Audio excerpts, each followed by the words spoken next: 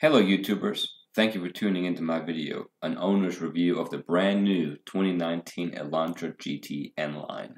I have purchased this top spec Elantra with the DCT transmission and technology package on Memorial Day of this year, and I have come to believe more and more each day that this was the right choice of a car for me.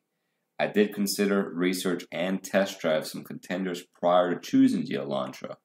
I considered the Civic, particularly the SI, even though it is not a hatchback. But I already have one, granted it's a prior generation. I considered the VW GTI, and that is indeed a good car, but it did not impress me quite as much as I was led to believe from other reviewers. I considered the Mazda 3, and that was the runner up. The Mazda 3 is a very special car, especially the interior design but I personally did not at all like the hatchback's black wheels, the huge and oddly shaped C pillar, the rather dark interior, especially the back seat, and to top it off, the dealer would not give me an out the door quote unless I was going to buy the car right then and there. Friendly advice never purchase a car on the same day that you test drive it. Get a quote, go home, and think about it. I digress. I would encourage anyone looking for a hatchback to give each of these cars a chance, including the Civic hatchback or the Civic Si in sedan and coupe flavors. The tremendous value proposition of the Elantra, the standard features, the excellent price, and the dealership sales process all stacked up made more sense to me over the others. A lot of this is subjective. So let me be subjective and a little objective and let's dive into the Elantra GT N-Line. The Elantra's rear seat doesn't suffer any loss in quality or materials in comparison to the front cabin. Rear passengers have air vents and an armrest with integrated cup holders. I do wish that there would be a pass-through in the center seat for the time when you need to carry a longer item while still having room for two rear passengers. Instead, you'll have to ask one of them to remain behind to find their own ride home while you come around to the back and let the back rest down in a 60-40 split fashion. If you take note, there is quite a step up from the trunk floor to the folded down seat back. Prior Elantras, or maybe even those in other markets, have a solution to move the trunk deck up to make a level floor. Look for an upcoming video from me to hopefully address this issue in this North American N-Line Elantra. The inside of this Elantra is just such a nice place to be. It starts with the seat, starting with the construction and the details. It is not a plain seat. The red stitching and checkering along the bolster are beautiful and bring an upscale touch. This trim level offers electronic driver seat controls for up down, forward rearward, and lumbar support. This area of the seat is also where we'll get into my first little disappointment, and perhaps a contributor for the attractive price of the Hyundai brand, the cheapness of this control panel. If you press and push on it, you'll see that there's very little in the way of structural integrity and mounting support. Climbing into the driver's seat, I hope that you'll agree that this cabin is quite modern, yet simple and elegantly executed. Everything is in a well accessible position and in proper line of sight, including the instrument cluster. Let's talk about that actually. I noticed that the top line indicates the number of miles remaining with the fuel in the tank. I like that. I particularly like the small arrow to the left of the pump icon. It points to the right. I thought that was quite nice to let me know on which side of the car the fuel filler cap is located so I can put more drink into this thing. Wrong. All wrong. I pull into the gas station with the fuel level as you see here. I wanted to top it off so I'd be ready the next day for my road trip with a full tank. The actual arrow to indicate the fuel filler's cap location is obscured by the tank level needle right here. I must have looked like a total noob to any onlookers. Taking a look around, it is a well lit interior.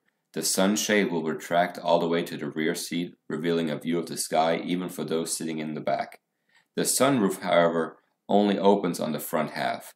Visibility out of the rear window is okay, and the visibility out the side is much better than out of the Mazda 3. The center console features an outlet, but it is quite small. There are two cup holders, but they are also on the small side, both in diameter and depth. Good enough for a bottle of water or a small cup of coffee. We have an electronic parking brake and auto hold, which I enjoy very much in the city. The PRND shifter looks like it was stolen from a premium German car. To the left and right of it are the driver and passenger heated and cooled seat controls, as well as a sport mode button.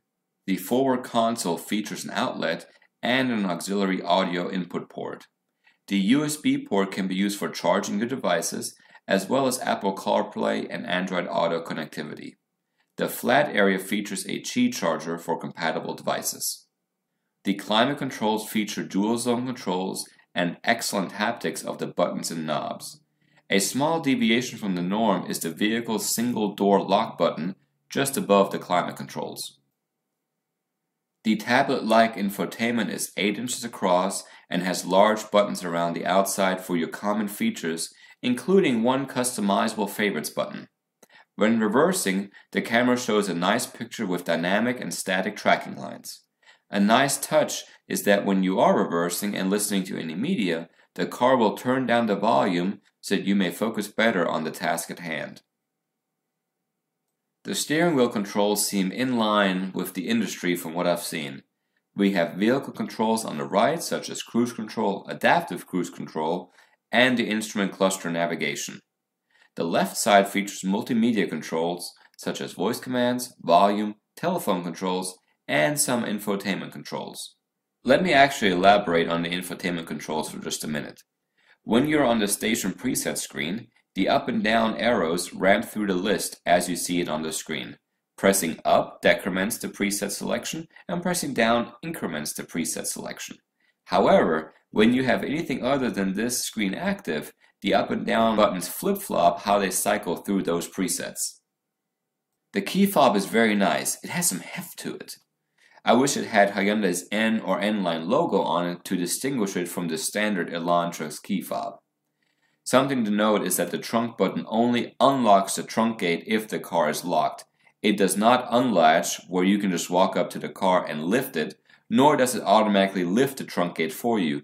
You still have to press the little button in the handle to unlatch it afterwards.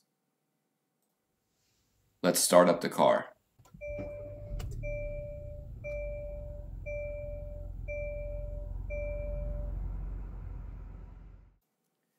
Another way to start the car is remotely using the My Hyundai app.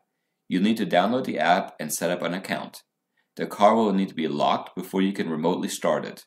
Choose your remote start settings, input your PIN, and the remote start request is sent to the car.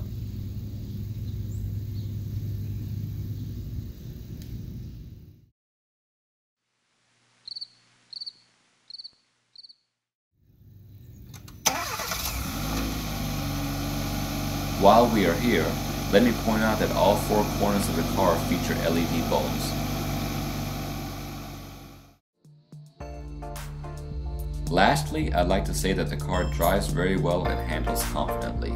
The safety tech such as lane keep assist, radar cruise control, and front collision mitigation are great additions to the standard offering from prior years and these are not necessarily standard on some competitors.